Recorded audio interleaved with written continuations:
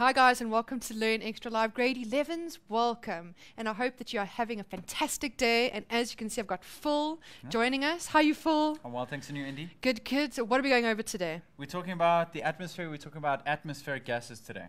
Oh, cool. It's farting cars, guys. That's, that's, that's You what I it said. I had to. I had to. You know, that's the physicist, the non-physicist coming out in me. Okay, Okay. well, we're going to talk about that as well. I'm going to take my seat. You take you take your seat at the board, guys. Um, make sure that you join us on Facebook.com forward slash Learn Extra. Also chat to us on Twitter at Learn Extra. Don't forget this community is not just for us, but it's also for you. So start engaging, ask questions, because the only silly question is the one um, that you ask after exams.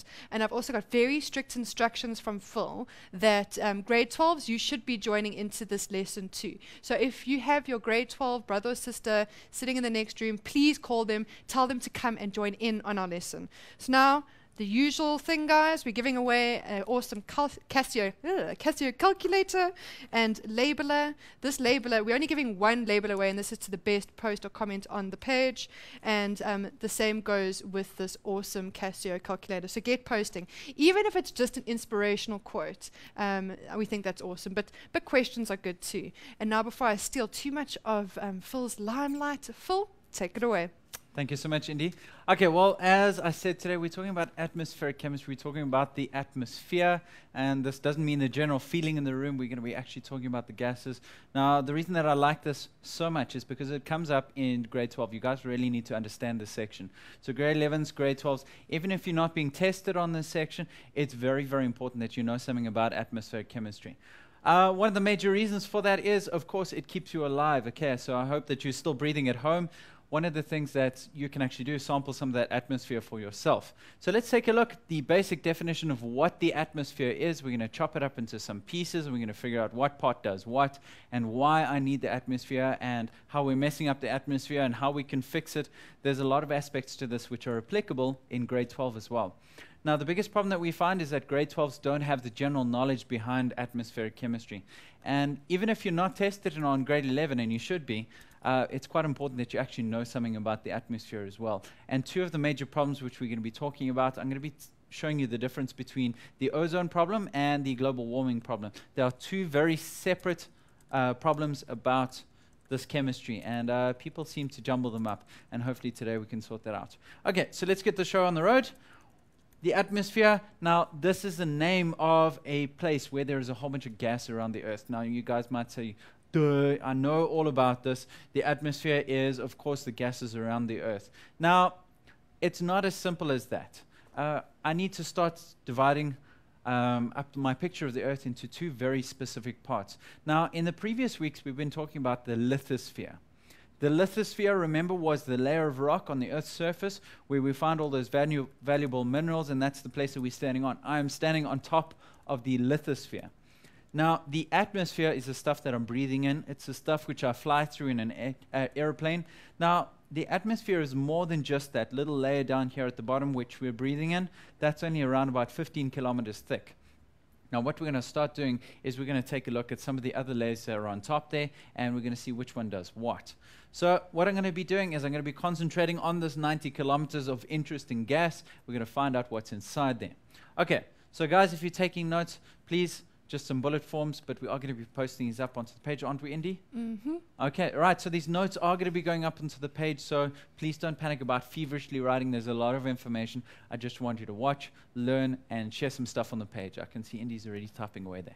Furiously. Okay. All right. So now let's take a look at the parts of these gases, these mixtures of gases. Now, these numbers are relatively fixed anywhere around the world. I can be sure that I can breathe the air there unless it's particularly polluted. I know that there is a certain percentage of gases. Okay, so let's take a look at them. Let's see what's going on inside this pie chart of mine.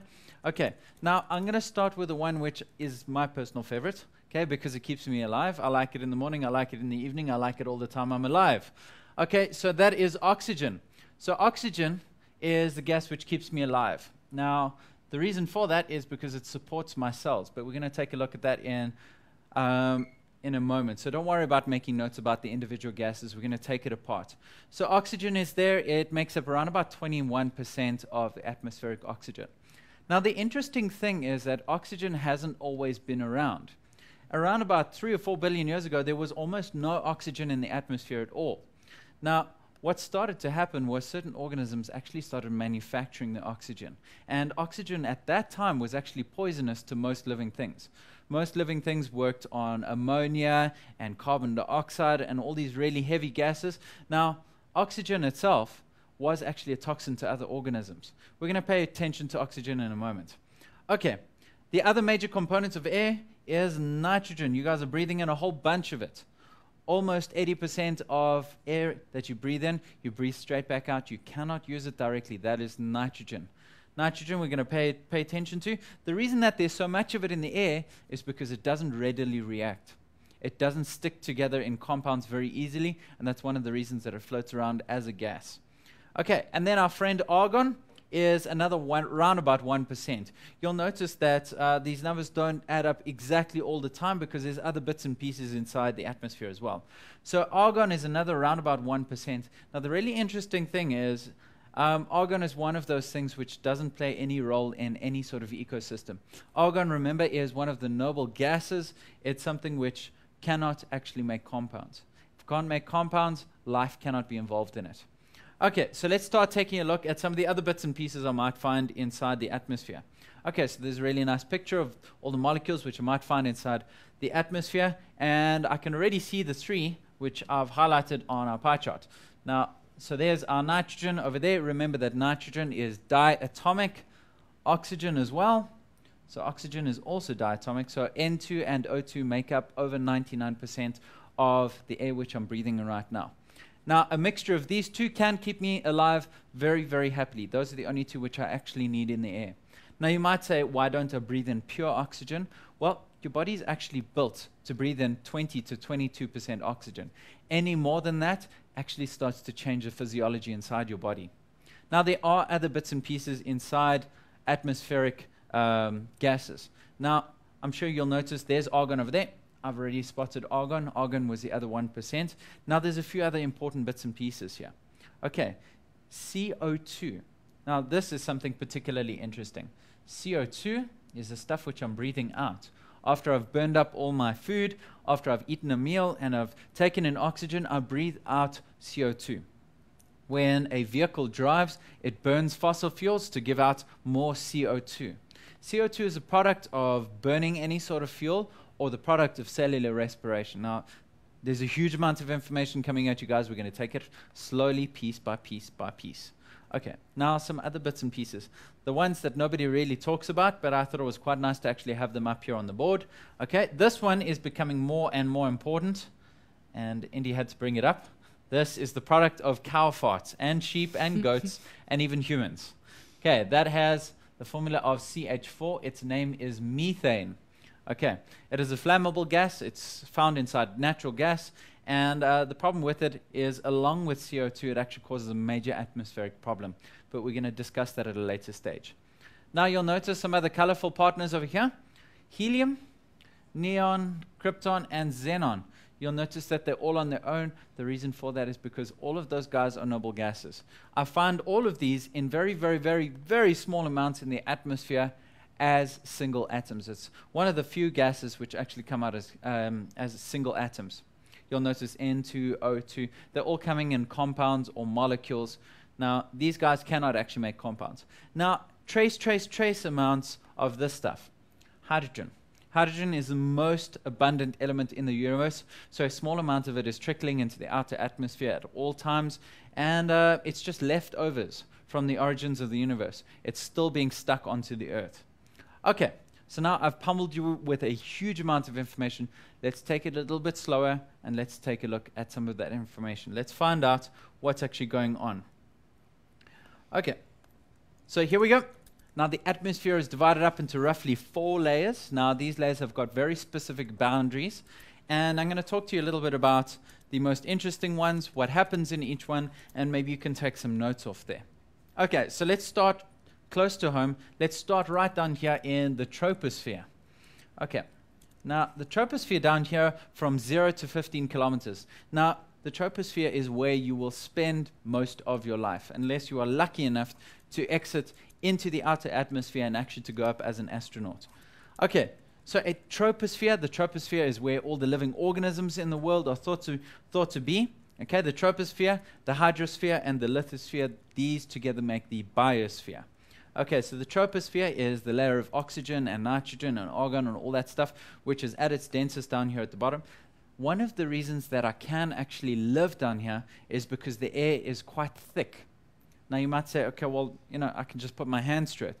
But when you wave your hand through the air, you can actually feel air molecules bumping against your hand. Now that's only really true in the troposphere. The troposphere is one of the warmer layers of air, and it supports all of the life on Earth. Now, this is a mixture of gas, which we're actually breathing in right now. That is the troposphere. It's also the layer of gas that you fly through if you're inside an aircraft. The aircraft goes to the upper layers of the troposphere. And one of the reasons that aircraft like to go at a higher altitude is because the air starts to thin out. That means that the air molecules start to get further and further and further apart from each other. That means that the aircraft has to move through less air and it's actually easier to slip through the air there's less air resistance as I go up. Now, what you notice is as I go out of the troposphere, something quite interesting starts to happen. Temperatures start to get very, very, very cold.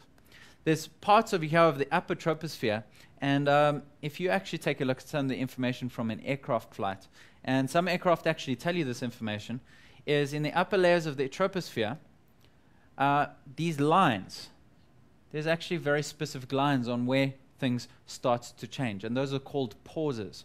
So where the troposphere ends, I call this the tropospheric pause. So let me just write that in. So the tropospheric pause, or the tropopause. Now, it depends on which textbook you look at. So it's the tropospheric pause or the tropopause. There's two different ways of saying that. Now, each layer, when it stops, ends in a pause. So the tropopause, the stratopause, and the mesopause. Now there is no thermopause because that is space. There's actually space on the outside of here. Okay, so let's carry on through our layers and let's figure out what's going on. Now as I get to the tropopause, this is where most aircraft are flying on or around about or slightly even lower than that. The tropopause is where it's very, very, very cold because it's far away from the ground. Very little of the sun's energy actually gets absorbed into that layer, and it's quite cold, around about minus 50 degrees Celsius. Now, this is one of the reasons that aircraft some, sometimes land with ice on the wings, is because those wings are very, very cold when they come back down through the atmosphere. Now, the stratosphere, you might say, okay, well, what's the point of dividing the atmosphere up into different layers? Well, each layer does something slightly different to the next. Okay, so we said that the troposphere is where all life um, actually occurs. Now, the stratosphere, Stratosphere is a home to a very important gas. That gas is ozone. So if I start to take, a look inside the stratosphere, oxygen is constantly changing into ozone.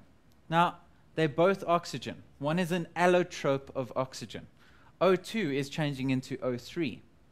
Now, why is O3 so important? Because ozone actually protects us.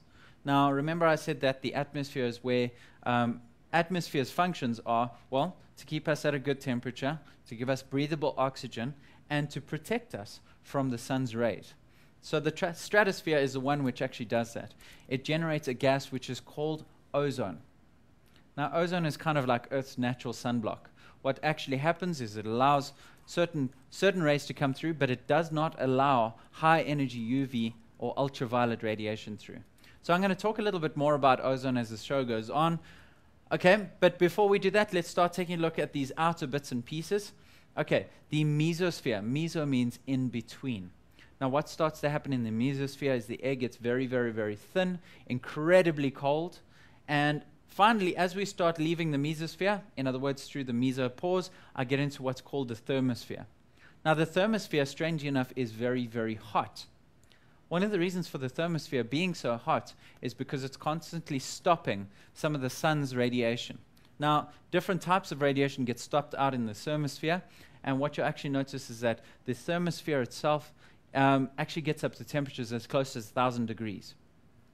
Now, these very, very thin particles out here in the thermosphere are responsible for the stopping of things like meteorites. You might actually notice over there. Okay, so as it goes through the thermosphere into the mesosphere, I'll actually notice falling stars or meteorites. So I'm sure that uh, some of you have seen these, especially far away from the city lights. You can actually see these stopping in the thermosphere and the mesos- mesosphere. One of the reasons that they look like stars is because these falling rocks are traveling through there at such high speeds that they actually catch a light. They, they light up the sky and they actually burn at high temperatures. Some of them are traveling at up to 50,000 kilometers per hour, so that's pretty quick. When they travel through the thin atmosphere over here, they leave behind a trail of glowing sparks. Okay, so now that we've left the atmosphere and we've gone out into space, you can actually see there it is, the space shuttle, which is no longer being used, sadly enough. Okay, now, well, that's not the the space shuttle. That is a model of a replacement for the space shuttle, which I'm hoping will happen. Uh, the satellite, okay? And as you start leaving out into the thermosphere, you get out into space where there is no oxygen, no nitrogen, and none of those gases to breathe in. This is one of the reasons that you need protective craft and you need spacesuits to survive out there. The air is absolutely thinned out. There is almost no oxygen to breathe at all. But one of the really cool things about it is that there is no air to slow down satellites. So once you get them up there, they keep on spinning around Earth without being, without being lifted up anymore. Okay, now I've talked your ears off. So what I think I should do, Indy, is give them a little bit of a break. Yes. And then uh, let them absorb this, digest this, and breathe some of that atmosphere in. Exactly. Okay, guys, deep breaths. Now post your questions on the page. I see there's quite a few here, and I'll go through them with Phil now during the break. But if there is anything that Phil is going over, please post on our page and let's get let's let's get talking. I think this is a nice mm. conversational piece, and I can see that you guys love, love, love this subject and this topic, which I think is so exciting. See you now after the break.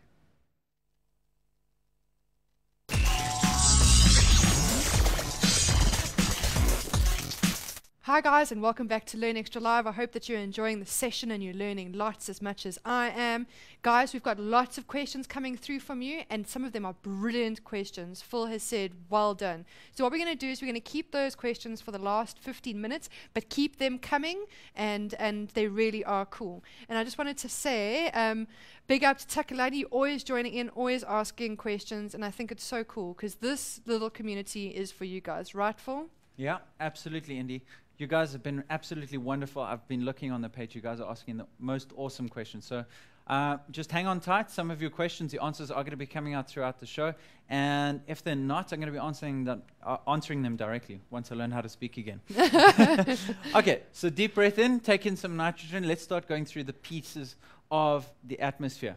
Okay, so now let's just make sure that we know the properties of those gases, which we're going inside there. So let's start again of the gases which are part of all of the atmosphere. And somebody actually asked me, what actually holds the atmosphere onto the earth if it's a gas? Why didn't it just blow off into space? And then one of the gases which is held down is nitrogen. And one of the reasons that it's held down is because, strangely enough, gases are also molecules and there are also particles which are acted on by gravity.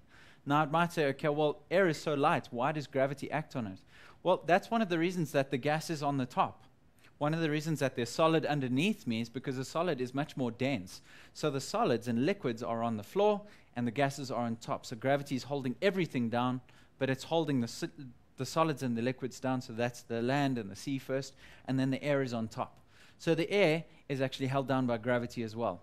And that's one of the reasons that the atmosphere is actually collected on the outside, is because the gases are the lightest. Okay, so let's take a look at those gases. Let's start out with nitrogen. Remember the formula N2. We're going to get through these quite quickly because you guys actually know most of this. But nitrogen, quite important to note that it is inert. That means that it does not react very easily. Now, nitrogen in the atmosphere cannot actually react very easily, and it's actually quite a problem to get nitrogen to react. Okay, I need this specifically, and this is one of the reasons that I need nitrogen, is to make amino acids. And you're saying amino what? One of the things that amino acids builds for me is proteins. So the muscles inside my body, even the cell structures inside my body are supported by proteins. Proteins are also the enzymes which can digest things inside your stomach and inside your gut. Now, amino acids are very, very important things. Now, one of the reasons that life started on Earth is because there's so much nitrogen around. And nitrogen can make amino acids for proteins. So, you guys doing life sciences, I hope you're watching, and nucleic acids. And those are DNA and RNA. Okay, so deoxyribonucleic acid and ribonucleic acid. Now, you don't actually need to know these, but basically, these are what encode the body building plan for myself. Okay, so nitrogen is very important to actually build up a plan to build one of me. So without DNA, there's no me, there's no you, and without amino acids, we couldn't live. So nitrogen is very important. Okay, I also use liquid nitrogen in industry. So here's one of the uses. I use uh, liquid nitrogen to cool things down. Now, if you've ever seen sort of a steamy liquid which goes over things, I can freeze objects with that liquid, and that is liquid nitrogen. That is at almost minus 200 degrees Celsius. So it actually burns your fingers, or it feels like it's burning your fingers, because what, is it, what it does is it freezes your cells and it gives you instant frostbite. It actually destroys tissue. Sometimes that's actually a good thing. If you've got warts on your skin, they put liquid nitrogen on just to freeze and kill those cells. So it just kills those ones. Okay, so let's turn our attention to the next one, my favorite, oxygen. Breathe it in. I need it to teach. Okay, so oxygen, formula O2, there it is. Okay, so now when we're dealing with O2, one of the things that is quite strange is that oxygen is very reactive. And I need it to be very reactive. It must react with the chemicals inside my body to give me energy. It must react with glucose inside my body to give me the energy to live. So, oxygen itself is probably one of the most important things for animals like myself to live. So it is very reactive. It supports life that way. And it's needed by all aerobic. Now, that word aerobic means that I require oxygen to perform respiration. This is cellular respiration I'm talking about. Okay, so aerobic organisms, this, that means oxygens which require oxygen. They all need oxygen. Now, this wasn't always the case. Now, one of the things that oxygen was actually um, one of the reasons why it's so interesting is that oxygen actually wasn't part of the atmosphere for a very, very long time. It's only after these organisms called cyanobacteria, billions of years ago, started manufacturing oxygen as a waste product. Now, this oxygen started to pollute the atmosphere. Oxygen was actually toxic to the other organisms. And what actually started to happen was there was so much oxygen new organisms started to develop which took advantage of oxygen's reactivity. And this is where our current cell line of animal cells and bacteria started to come from. This is where aerobic organisms actually come from. They took advantage of all that excess oxygen which was going out into the atmosphere. Okay, now where do I use it in industry? Okay, now if you've ever seen somebody in hospital, Okay? When they've got this tube stuck inside their nose to help them breathe, that's actually an enriched feed of oxygen. That means that their lungs are struggling to breathe and they're taking in a little bit of extra oxygen. One of the questions that was asked, why can't we breathe in or what happens when we do breathe in lots of extra oxygen? Well, as a temporary thing, it actually helps your body. It takes stress off your body because you don't need to breathe as hard because air is only one fifth oxygen. Now, if you give somebody 100% oxygen, what starts to happen is that their lungs can actually relax a little bit, their body can work a little bit better. But long term, it can actually cause a breakdown of cells, and it's actually bad for you. Okay, I also use oxygen because it's reactive to burn with other gases to make welding, torches. welding torches. What actually happens is oxygen can help other gases burn at much higher temperatures in, in order to actually melt metal with that sort of temperature. Let's turn our attention next to argon. Okay, argon there in less than 1%. Okay, it's highly inert. It does not react. It's almost impossible to get argon to make compounds. So it's absolutely vital that you know that argon is actually quite valuable because it's inert. Now, it's not valuable to animals. We don't find argon to take um, any sort of importance inside biology. No organism known actually processes argon because it can't react to take place inside an organism and be important, usually something needs to react. Okay, but it's often used inside light bulbs. Now that's quite interesting. The light bulbs that are shining on me at the moment have got a piece of metal inside which gets to 3000 degrees. The problem with metal and 3000 degrees is that metals actually burn in oxygen. So what argon can do is argon can protect very hot metals. And what's actually happening there is inside light bulbs, argon protects the metal inside there. I can use it inside fluorescent tubing. If you run an electric current through argon, it actually produces a color of its own. And also, I can use it in welding. Now, this is for a different use because in welding, I use it to protect metal from oxygen. So, I can use it in another part in welding. I use argon to protect the hot metals when I'm welding. Now, one of the metals which can only be welded with argon is actually aluminium. Aluminium is a very reactive metal. If you try and melt aluminium in the presence of oxygen, it actually catches on fire. So what welders do is they put a blanket of argon on. They spray argon over the surface of the aluminium so that it won't burn. Okay, and we're almost there. Now, one of the most important ones. Now, pay attention. You're busy breathing this stuff out right now. Okay, carbon dioxide. Hugely important stuff. Okay, it is quite inert. One of the reasons that I know that it's inert is because carbon dioxide can put out a fire. It stops a fire from happening. Some fire extinguishers actually give out a whole bunch of carbon dioxide, and that actually starves the oxygen from the fire, so the fire goes out. Now, it's needed by all plants, so it's not completely inert. So it's needed by all plants to perform photosynthesis. So that's pretty important.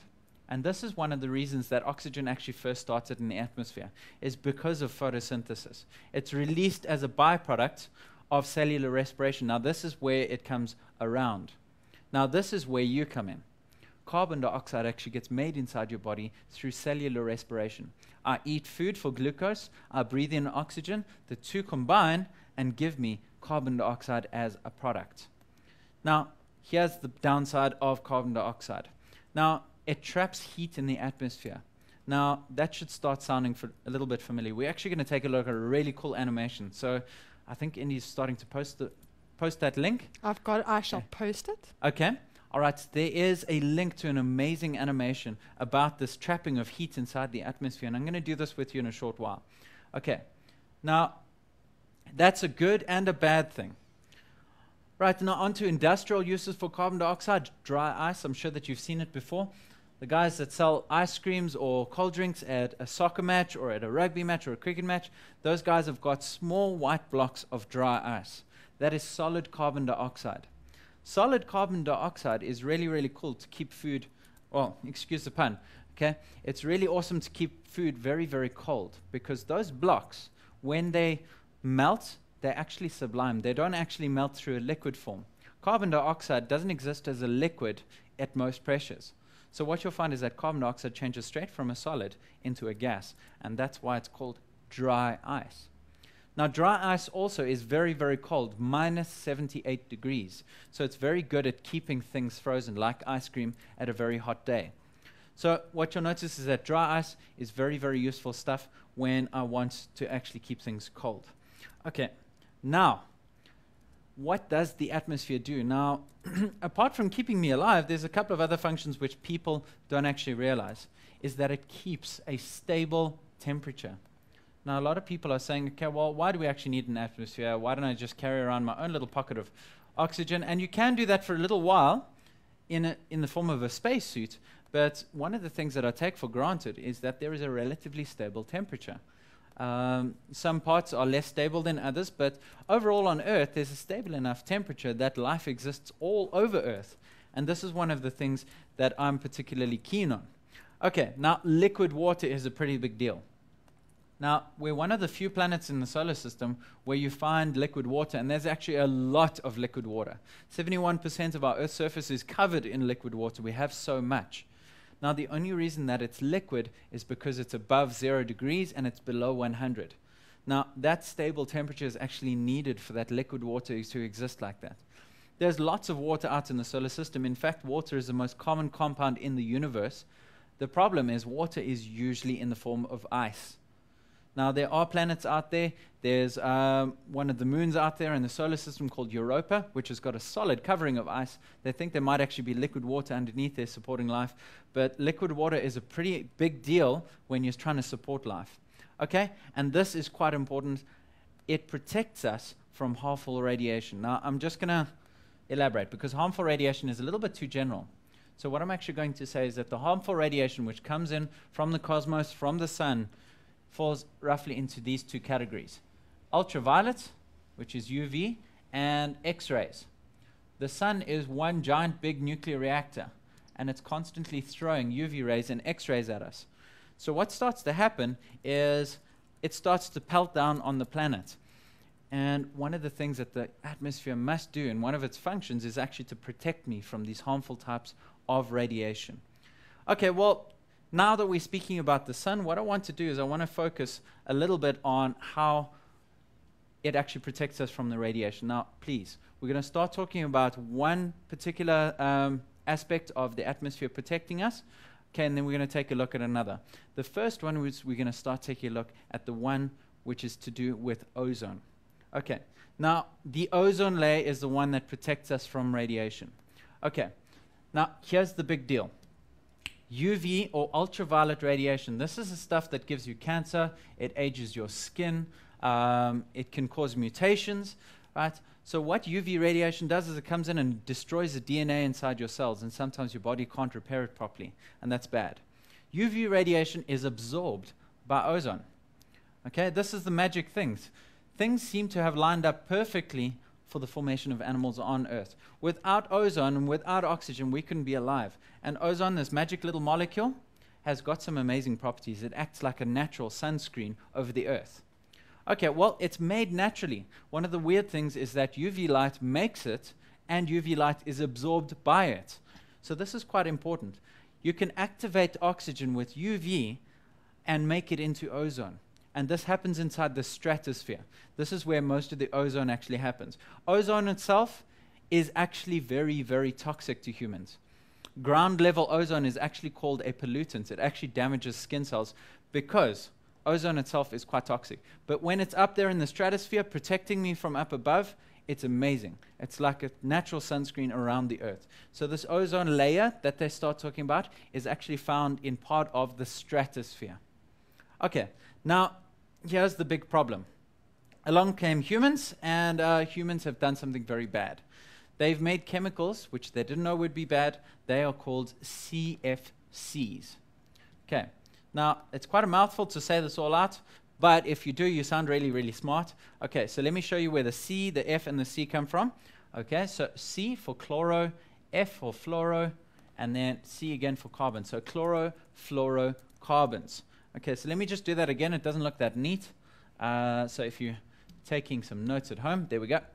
So just remember that fluoro is spelled with F-L-U because otherwise it's fluoro. Okay, so chlorofluorocarbons. So there we go, CFCs. These are chemicals which float up naturally through the atmosphere because they're gases themselves. When they get up there, they actually mess things up. They destroy the ozone particles. And that takes away our natural sunscreen, and of course, people get exposed to UV radiation, X rays, and they actually get skin cancer. Now, sadly for us, the damage to the ozone layer is heaviest around the southern hemisphere. So what you'll find is that in Argentina, South Africa, and Australia, we actually have much higher levels of skin cancer as a result of that depleted ozone layer. Now, you can be smart about this, protect yourself using normal sunscreen or clothing, or you can uh, sunbathe at correct times of year. Oddly enough, the sun is at its worst and the UV radiation is actually at its worst from October to December in South Africa. The ozone layer actually naturally fixes itself and gets thicker towards March. Sadly, that's getting colder. Okay, so our holiday months, December is actually one of the worst months to be out in the sun. One of the reasons for that is because the UV gets through. The ozone is at its thinnest. There is less and less of it. Okay, I think I'm going to rush in something before we take another ad break. I want to talk to you a little bit about the heating of the atmosphere. Okay, so now what I'm going to do is I'm going to talk to you about the natural heating of the atmosphere, which is good, and the unnatural heating of the atmosphere, which is a really bad thing. So let's run through the steps. Okay, now the heating of the atmosphere naturally is still called the greenhouse effect. Now, a lot of you are saying, okay, no, the greenhouse effect is bad, it's causing global warming. No, no, no, no. The greenhouse effect is one of those things that keeps the temperature up high enough that I can get liquid water and actually support life on Earth. So the greenhouse effect actually is a good thing. However, too much of a good thing that's where the problem comes in. So let's run through the steps. Okay, so the greenhouse effect, there's five major steps inside here. Now, these keywords I'm going to highlight. Infrared or heat is coming in from the sun, and that's a great thing. That's what I feel when I stand inside the sun and the sun warms me up so beautifully. I'm feeling infrared rays landing on my skin. Okay? Now, infrared rays are not the same as UV rays. Infrared rays just make me warm. Okay, so they come through the atmosphere. The atmosphere doesn't take them in, and then they land on the ground. So this is where most of the heating happens. And this answers one of the questions that was actually posted on the page. is why, it, why, the, uh, why is the temperature down at the ground the hottest? Well, the infrared actually doesn't interact with the air.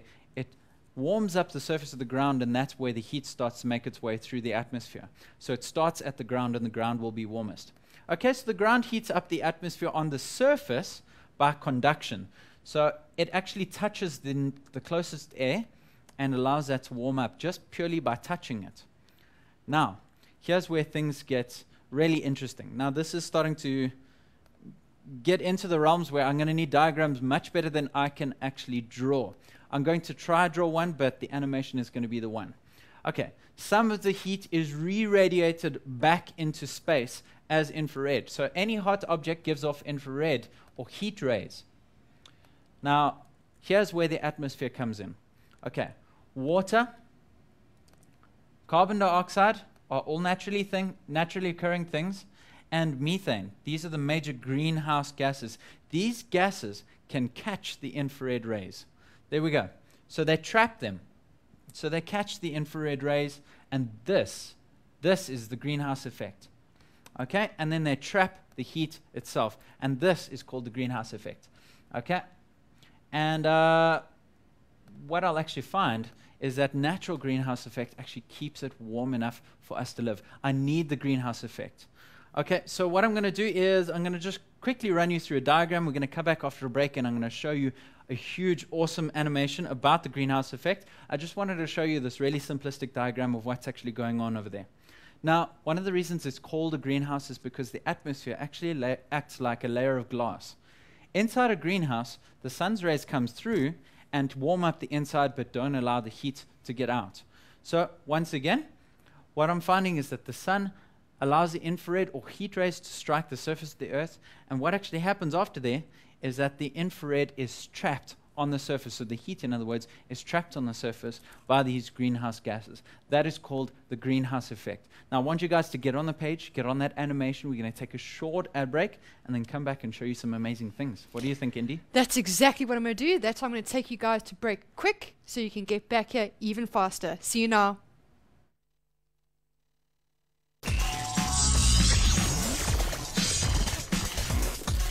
Hi guys and welcome back. We are entering the last 14 minutes of the show. We can't believe it. So what Phil's going to do is that he's going to just finish off his lesson and then we'll be answering questions. So if you do have any questions, now is the time to post it on our page. Um, big up to Liberty for making the show possible. You guys rock as usual, as always. Um, and don't forget our, our Facebook page is facebook.com forward slash learn extra. Also chat to us on Twitter at learn extra. And before I waste any more time, Phil, take it away. Thank you so much, Indy. Okay, well, just before we went through to the ad break, we were talking about the greenhouse effect. Now, please, please, please, please, and I'm begging you, please separate these two atmospheric problems or these two atmospheric things. Ozone is to do with UV, greenhouse effect is to do with infrared. They're two completely different things. This is to do with the trapping of heat on the on the uh, on the atmosphere or in the atmosphere rather, please, please don't get the hole in the ozone layer mixed up with global warming. They are both problems, but they are very separate problems. Oddly enough, I'm actually going to go back through the ozone problem in a minute, but this is talking about heat on the Earth's surface and just a little bit too much heat. This has got nothing to do with the ozone layer. Okay, so infrared, as I said, comes down, it strikes the surface of the Earth, warming it up, but then the infrared is trapped by those greenhouse gases. So let's take a look at this animation. So what I'm going to put up on the screen, and I hope that my producer is going to show you this. Okay, this is the most amazing thing. What I can actually start to see is that I have actually got these photons these particles of light which are falling from space. So what actually happens is the very light ones are coming down to the earth and warming up the surface of the earth. Now what I'm going to do is I'm just going to switch back and we can actually start to get an av average temperature over there. Now the average temperature of the earth is around about 12, 13 degrees, so you can actually start to see the little particles of light which are coming from outer space. Now those are your infrared particles which are coming from space.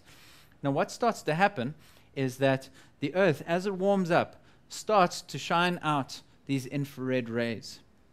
Now what I'm going to do is I'm going to show you what the greenhouse effect is. I'm sure you'll notice that some of these red particles don't actually make it out into space. What you'll actually see is that some of them change direction and come back down to Earth. what I'm seeing over there is the greenhouse effect. There are greenhouse gases inside this which I can't see, but bounce the heat back down to Earth. Now, those particles, those greenhouse gases are water, carbon dioxide, methane. There's some nitrogen oxides as well. And what we can actually do is in this program, we can change what actually goes on here. So, what we can do is we can increase the amount of greenhouse gases inside there. So, what I'm going to do at the moment is I'm going to go on the right hand side here, going from none to lots. I'm going to increase the amount of greenhouse gases. Now, while I do that, I want you to take a look at the thermometer on the left hand side of the screen and watch what slowly starts to happen. So, even if I increase the amount of greenhouse gases, whoop, I'm drawing on the screen. There we go. If I increase the greenhouse gases even slightly, what you'll start to notice with time is that the temperature slowly starts to climb. Now, it was 14 degrees, and what you'll notice is that it's now 16, 17 degrees. If we go even further with these greenhouse gases, I'll notice that the temperature goes up even further. It does take a little while to build up, but now we're hovering 15, 16, 17, it changes. But I noticed that when we started in the show, we had 12, 13, 14. Now we're up to 17 degrees. Now you might say, what difference does 3 degrees make?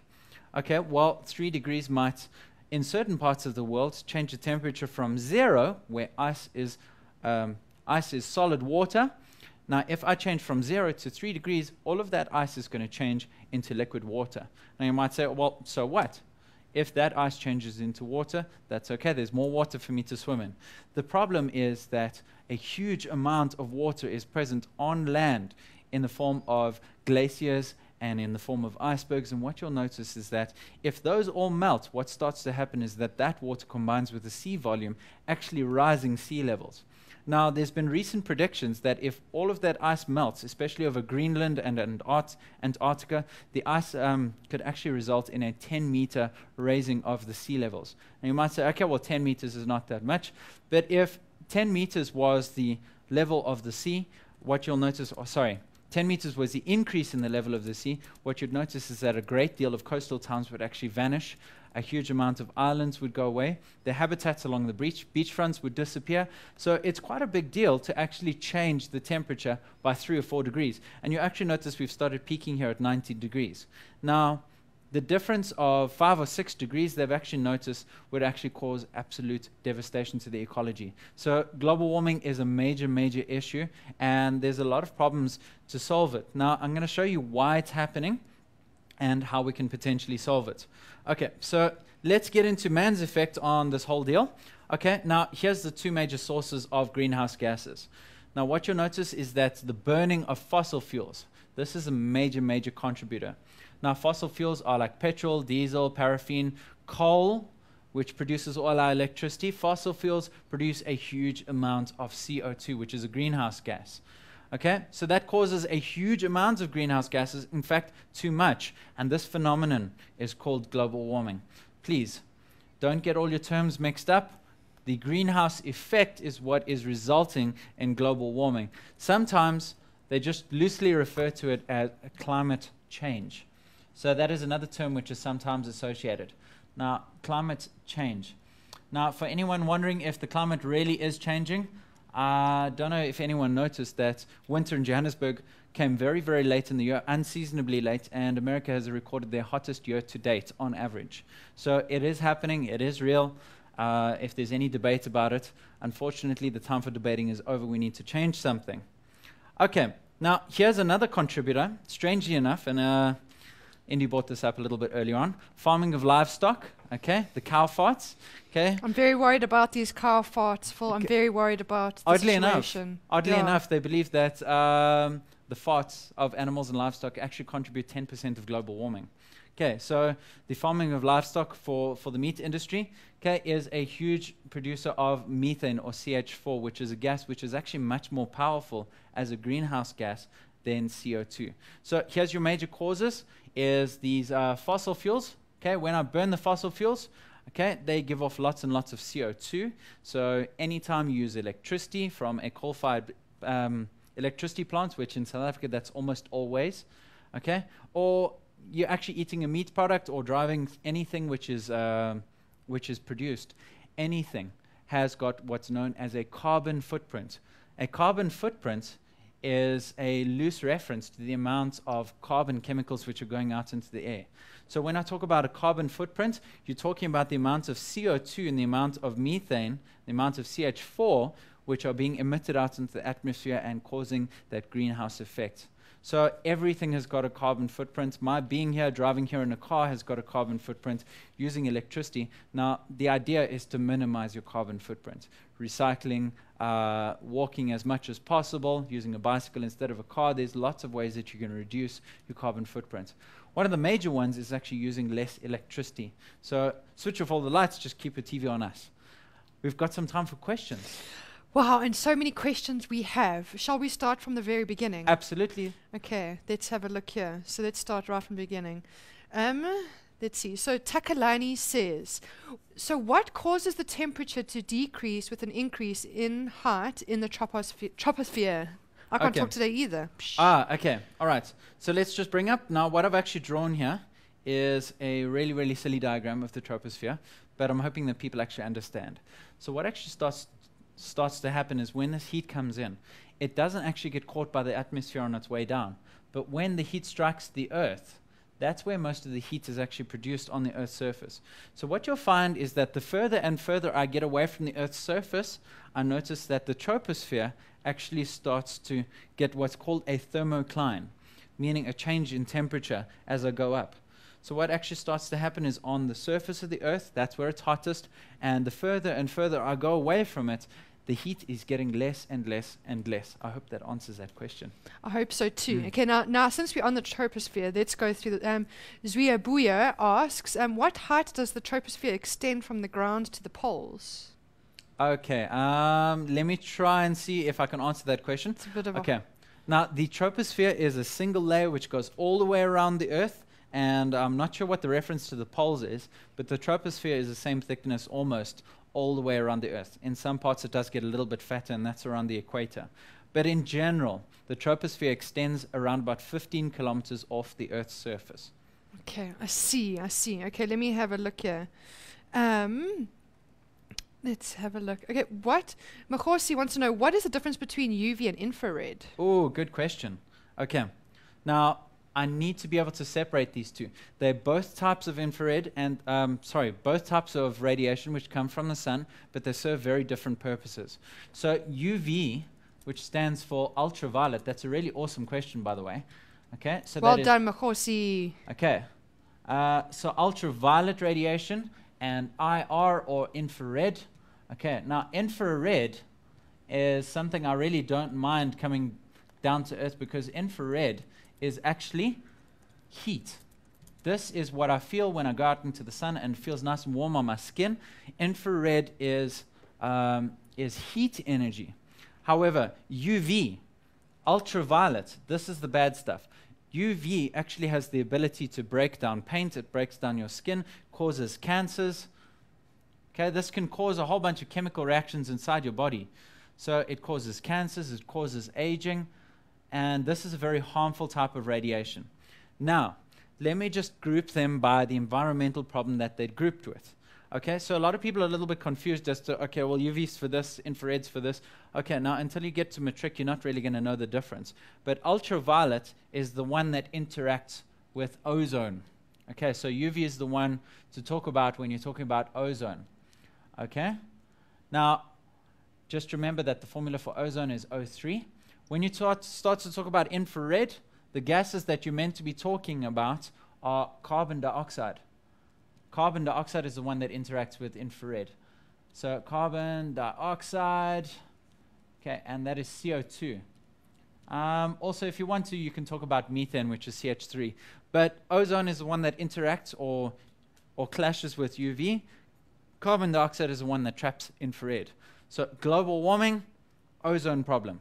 Okay, so please do try separate the two because people just get so jumbled up between these two. I actually want you to go do a little bit of research. Okay. Okay, let's see. I'm trying to like pick and choose. I'm hoping that I'm picking the best ones for. They seem to be excellent. Okay, um, this one is the mesos the mesosphere um, is closer to the sun than the troposphere, but yet is colder than the troposphere. Why? Oh, okay. All right. Uh, that's actually linked up with our diagram here. Okay. Now, the, Okay, the mesosphere is actually very, very high up. The troposphere as well, because it's close to the Earth. What you'll notice is that the- troposphere is actually the warmest of the bunch. Now, even though it's closer to the sun, it doesn't actually get any heat because infrared goes directly through air particles. Now, that's the one thing, is that infrared goes directly through. Now, I want you to do a little bit of an experiment. If you have got a sheet of glass, you can feel the heat of the sun behind it. Now, that sheet of glass is not getting warm. And that sheet of glass is actually acting like the air in the atmosphere. The heat goes directly through it and gets hot on your hand. Now, that's actually what's happening. So, by your hand would be the troposphere, the mesosphere would be the glass. It just goes straight through the mesosphere. The mesosphere is much further away from the Earth, so it doesn't get as much of that heat energy back. Okay, Phil, my producer, our Aw. producer has said that we have come to the end of the show, unfortunately. That is sad. I know. I'm sorry. Okay, so this is my closing thing. Do you want to wave quickly to the mindsetters? Absolutely. Bye, mindsetters. okay, let me end it off. And I think I'm going to end it off on quite a nice note. Takalani says, um, Did you know that on average, one tree removes one ton of CO2 per year and provides enough oxygen for a family of four per day? So let's start afforesting. So, what I think he's trying to say Plant some trees. Exactly. And guys, just in case you didn't know, it is Arbor Month too. So maybe what you should go and do is plant yourself some trees. I like that idea. Thank you so much, Grady Levens. Hope you enjoyed the show. See you same time, same place next week. Bye.